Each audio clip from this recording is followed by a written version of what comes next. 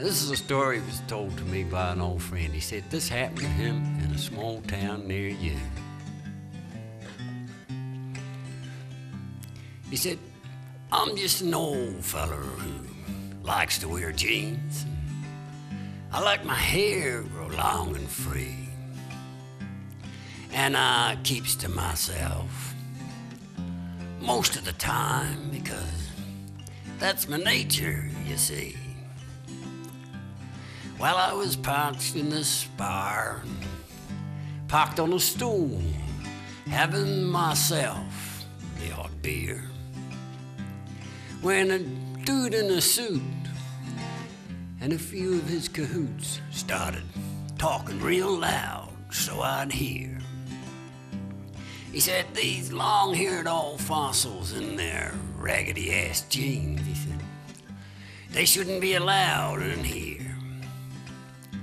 He said, This place has got some class, barman. You should give him the ass and chuck the old coot out of here. Well, I walked up to him, and he was lean and thin, hell of a lot younger than me. So I smiled at him, you see, which is my nature to a T. And then I kicked him fair in the shin. And I said, Irene, good night. Irene, good night. And as he hopped on one foot, I called him a big pile of poop. And then I just punched out his lights. well, now this caused a bit of a ruckus in the bar, you might say. And the cops were soon on the scene. And I tried to explain that, hell, I wasn't to blame, but oh, they wouldn't listening to me. Well, now, one cop was a big one, man. He was as wide as a door, and hell of a lot younger than me. So I smiled at him, you see, which is my nature to a T. And then I kicked him fair in the knee. Well, that brought a bit of a tear to his eye, you might say. But I had his attention at last. When his mate yelled, Stand clear, he said, I can get him from here. And he fired one of them taser dots fair in my ass, and it was Irene goodnight. Irene, sleep tight. Good night, Irene. No time to dream, man.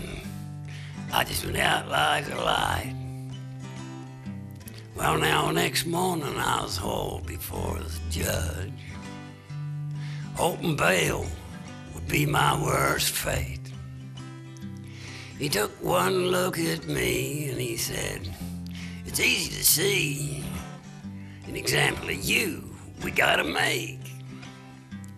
Cause you can't go around causing no ruckus in our town. It ain't right to kick a cop, don't you see? But I'll listen to your defense. And it better make sense, or six months in the pokey it's gonna be. I just said, Oh, Judge, you should just let me go free. I'm an old reformed man, can't you see? Besides, I'd hate to cause any strife between you and your good wife. But your new girlfriend, she's related to me. I said, Cousin Irene, good night. Cousin Irene's all right.